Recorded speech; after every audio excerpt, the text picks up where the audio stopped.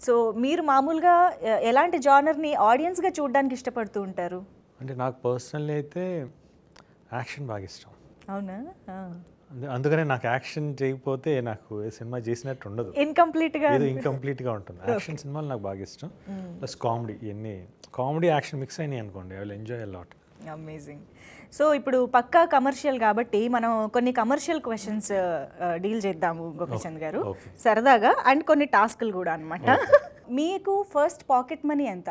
Pocket money అంతా అప్పుడు school డేస్లో అంతా two rupees two rupees three rupees one rupees two రూపీసా? అంతే.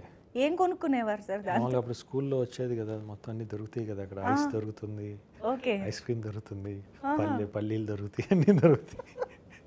ఆ టైంలో అదే అదే ఎక్కువ అవును ఆ బండి మీద వచ్చి ఇచ్చేది. స్కూల్లో వదిలేగానే బయటికి వెళ్ళిపోయారు గోడ అవతల నుంచి తొందర తొందరగా తొందరగా టైం అయిపోతుంది. తొందర అట్లా తీసుకోవడం one or two rupees okay. మీరు డాడీ మమ్మీ ఎవరైనా ఇలాగా పర్సులోంచి లేదా డ్రాలోంచి కొట్టేసిన ఫస్ట్ మనీ ఎంత? ఎప్పుడు కొట్టేయలేదు. నిజమా? నేను చాలా కాన్ఫిడెంట్గా వాళ్ళే కొట్టేశారా అని ఇచ్చేవాళ్ళు. అడగలేదు. ఇచ్చేది వాళ్ళే ఇచ్చేవాళ్ళు. ఇంకొట్టాల్సిన అవసరం లేదు. ఏదో ఆ రోజుల్లో చాలు. నిజమా? ఇంత గుడ్ బాయా మీరు? ఓకే మీ ఫస్ట్ సంపాదన remuneration eleven thousand for JM movie for Jayam movie it's eleven thousand 11,000. ఏం ఎలా ఖర్చు పెట్టారు లెవెన్ థౌసండ్ని అంటే ఫ్రాంక్గా చెప్పాలంటే నాకు అర్థం కాలేదు లెవెన్ థౌసండ్ బట్ ఏంటంటే ఏం చేసుకోవాలి? అది తేజ గారిది లక్కీ నెంబర్ అంట. ఓకే అందుకని దీని పక్కన ఇంకో సున్నా కూడా ఉండొచ్చు కదా. ఎందుకు అని అనిపించింది అప్పుడు. బట్ దట్స్ ఫస్ట్ రెమ్యునరేషన్ తీసుకెళ్ళి ఇంట్లో పెట్టేసాను అట్లా ఖర్చు అయిపోయింది అది పాయింటే లెవెన్ లక్కీ నెంబర్ అయినప్పుడు దాని పక్కన ఎన్ని సున్నాలైనా ఉండొచ్చు. ఓకే సో జాగ్రత్తగా ఇంట్లో ఇంట్లో పెట్టేసి అది అట్లా ఖర్చు అయిపోయింది. తెలియకుండా ఓకే. సో మీ ఫస్ట్ బిగ్ కమర్షియల్ సక్సెస్ ఏదని మీరు అనుకుంటున్నారు? విలన్ గానా హీరో? హీరోగా అయితే ఎగ్దమ్ ఎగ్దమ్ is very good first success అంటే ఎ హీరోగా ఫస్ట్ సక్సెస్ దాని తర్వాత అన్ని టపటప రణమాంధ్రుడు లక్ష్యం శౌర్యం అన్ని లైన్గా బాగా వచ్చినాయి. Lakshyam is the biggest hit at the time okay at that time it's collected somewhere around twenty crore something Lakshyam is very big hit ఇది టూ మచ్ పర్సనల్ అనుకోకపోతే మీరు ఇప్పటిదాకా హైయెస్ట్ రెమ్యూనరేషన్ తీసుకున్న మూవీ ఏది? ఎంత అని నేను అడగను. ప్రైస్ అంటే పెరుగుతూనే ఉంటుంది కదా సక్సెస్ అయ్యే పెరుగుతుంది. అవును కరెక్టే but any one movie that is on top ఇప్పటికి. ఇప్పుడు చేసేదేమో. ఇప్పుడు చేసేదేనా?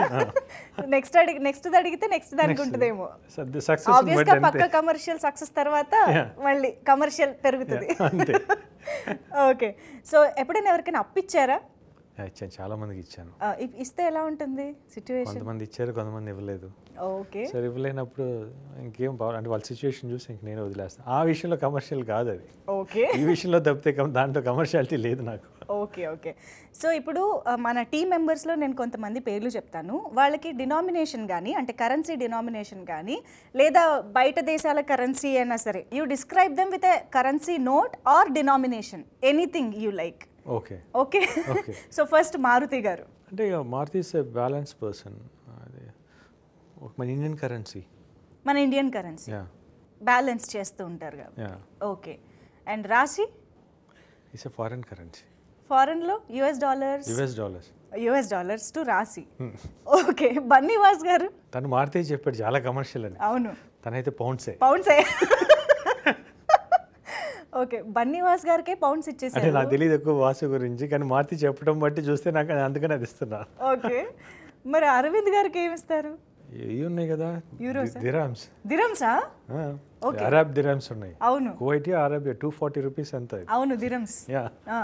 Dirhams to Aravind garu. ఎందుకు? Because is a perfect business man okay. It has to be like that only okay. అట్లానే ఉండాలి. ఏ బిజినెస్ మ్యాన్ అయినా అలానే ఉండాలి. బికాస్ ఎక్కడ తగ్గాలి ఎక్కడ తగ్గ పెంచాలనేది పర్ఫెక్ట్గా ఆయనకి తెలుసు. You know what to be balance is a very balanced person అంటే because I respect two people అంటే respect for my point of view in industry అంటే వాళ్ళు కొంతమంది అవన్నీ నాకు సంబంధం లేదు. Because I respect for my personally Aravind garu and Suresh Babu garu.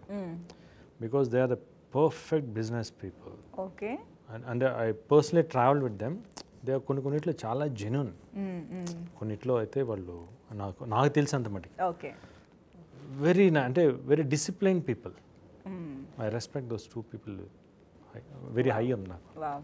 Arvind గారి టాపిక్ వచ్చింది కాబట్టి ట్రావెల్లో నాకు తెలిసి మీకు ఎక్కువ ఆయనతో కలవడానికి స్కోప్ టూ దొరికిందా? టైమ్సే ఆయన్ని. ఓ.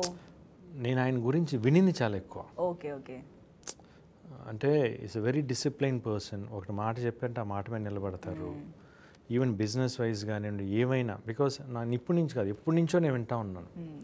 వెరీ డిసిప్లైన్గా ఉంటాను every matters even cinema production కానివ్వండి ఈవెన్ బయట విషయాలు కానీ everything will be a discipline perfect principle person the same kind Suresh Babu garu కూడా. Respect these two people but Aravind garu a age గ్రూప్తో ఆ ఏజ్ గ్రూప్ లాగానే మాట్లాడేస్తూ ఉంటారు. అసలు ఆయన ఏజ్ ఏజ్ గుర్తు కూడా రాదు. మనం కూడా యా దట్ ఈస్ సో జోవియల్గా ఫ్రెండ్లీగా that is so special about him yes and ఇప్పుడు మీకు ఒక టాస్క్ గోపిచంద్ గారు. ఇంకా వంశీని అడగలేదు మీరు. ఎస్ వంశీ గారు. పాప మా వంశీకి ఏమీ లేదు. అది. అసలు డబ్బు మనిషి కాదా? డబ్బు మనిషి కాదు. అయ్యో. ఓకే. అసలు డబ్బు అనేది అసలు పట్టించుకోడు.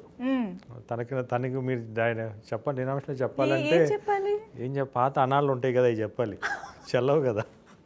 చెల్లని కాయిన్స్ డబ్బు అనేది లే అసలు ఆలోచన లేదు. ఓ.